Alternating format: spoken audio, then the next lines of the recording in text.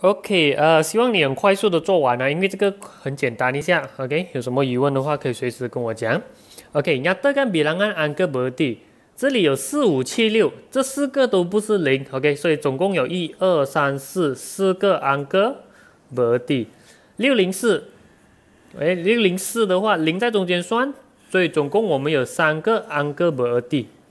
OK，这个零在中间也算，就算还有两个零也算，所以一二三四五。